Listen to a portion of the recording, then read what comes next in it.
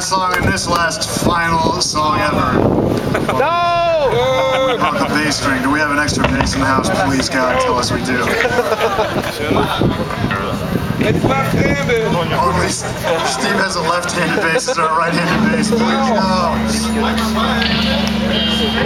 Oh, cruel fate. Uh, Is it in tune? Is it in tune? We're just gonna play a lot of root notes on this one.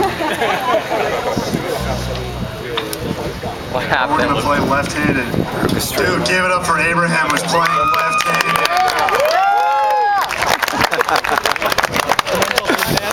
Same thing happened last night with the Give him a second to think about it and turn his brain upside down. Wow. Way to go. We won't laugh at you. This may be ridiculous. Get him a chair! Just bass. Just root notes. All right, everyone's gonna do it. Please be nice to him. Get him a chair! All right.